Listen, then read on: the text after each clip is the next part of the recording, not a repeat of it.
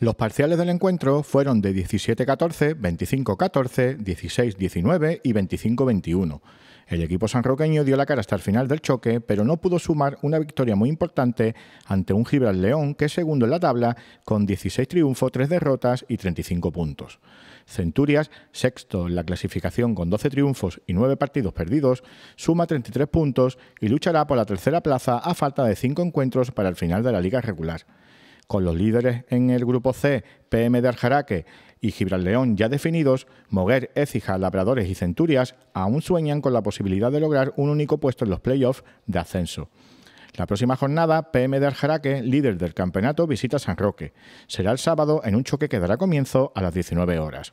Por otro lado, la Liga Senior Provincial derrota a domicilio por 61-65 ante Gimnástica Portuense, Portuense, tercer clasificado. El Liga Junior Provincial derrota a domicilio 55-49 ante el Club Baloncesto Trebujena en el último partido de la temporada.